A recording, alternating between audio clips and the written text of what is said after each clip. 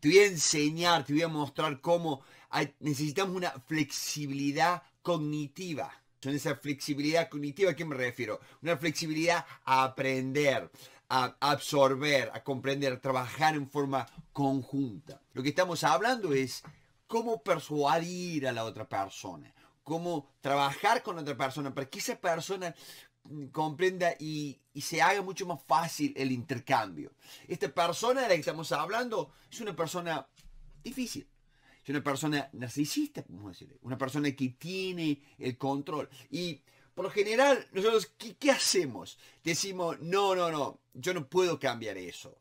Si, pero si no solucionas ese bloqueo interno, que vos tenés, que yo tengo, no vas a avanzar, no vas a poder lograr porque eh, la realidad es que tu jefe tiene algo de narcisista, la realidad es que vos tenés algo de narcisista, todos tenemos algo, o todos lo sabemos, o todos, todos tenemos alguna forma y tenemos que sobrepasar, tenemos que aprender a cómo negociar, cómo cambiar la cabeza de otra persona. Por eso son los cuatro puntos, esas cuatro estrategias que nos hacen entender, que nos ayudan a cómo nosotros podemos, sí, cómo podemos cambiar la idea de otra persona. Punto número uno. ¿Vos viste cuando trabajás con ese sábelo todo?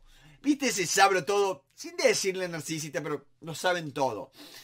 ¿Qué pasa? Ellos no saben lo que no saben. Escuchaste bien, ellos no saben lo que no saben. Por eso es que lo saben todo. ¿Cómo llegamos a ellos? En vez de tratar de ser yo también un sablo todo y mostrarle todo donde él se siente atacado, donde él se siente a la defensiva, lo que tengo que hacer es buenas preguntas.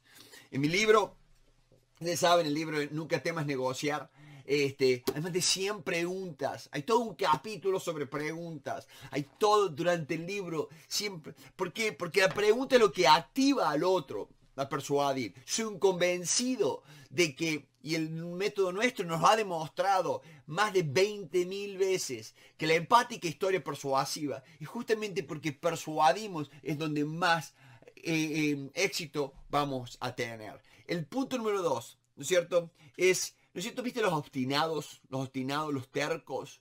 ¿No es cierto? Que tenemos que tratar. ¿Qué es lo que pasa con esta gente? Esta gente está en control. Está en control. Eh, esta gente es como que ellos ven todo es, está, es su voluntad, ¿no? Todo está ahí. Entonces, ¿cómo llegar a ellos?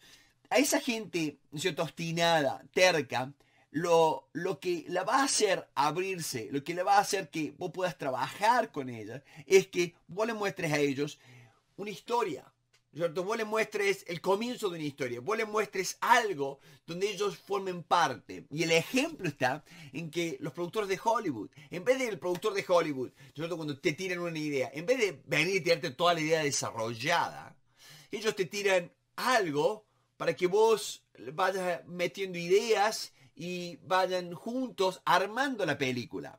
Y de esa forma ambos estamos comprometidos, ambos vemos el proyecto, ambos hemos participado. Esa es la mejor forma. Entonces cuando estás con un terco, cuando estás con un obstinado, busca no decirle qué tiene que hacer porque estás limitándole el control. No le digas, ¿no es cierto?, qué, cuál es, qué es lo que tiene que hacer porque él le estás limitando su voluntad. Cree que el todo está ahí. Sino, ayúdalo, tira ideas, tira esto, y ir, andar desarrollándolo junto con él si quieres que tu proyecto tenga éxito. El punto número 3, ¿no es cierto? ¿Viste que muchos hablan de elogiar al narcisista? Porque da resultado. Cuando vos, encontrás y sabes las partes fuertes de él y esas partes fuertes vos las elogias, ¿no? Eso le da, lo hace sentir bien. ¿Dónde tenemos que hacer eso? ¿Dónde tenemos que elogiarlo? Bueno, lo que está demostrado, lo que está estudiando es que demostrarlo al principio y mostrarlo al final. Eso es brillante, que nos demos cuenta que si yo quiero convencer al otro, las partes claves va a ser los elogios al principio y los elogios al final. Porque al principio es donde está el choque, ¿no? Lo explico en el libro, está el choque de Marcos, donde yo pongo, hablo, le digo, y que el otro, el otro tiene miedo de que yo me vaya a llevar algo de él. Entonces hay un pequeño choque de ideas. en toda negociación hay un choque de ideas. Entonces tenemos que trabajar en eso. Entonces, en ese choque, ¿no es cierto? Si es un narcisista, trabajo de forma tal de que él se dé cuenta, ¿no? Se dé cuenta de que hay algo para él, que yo lo respeto, que yo lo admiro. Eso va a hacer que la persona, ¿no, ¿no es cierto?, se sienta cómoda y esa le va a dar estabilidad a su autoestima, que te va a ayudar a lograr lo que vos querés. El punto cuatro, ¿vos viste las personas desagradables? Que por lo general esa persona desagradable se ve en, los argumentos, ¿no? Son desagradables, están, están listos para pegar. ¿Por qué?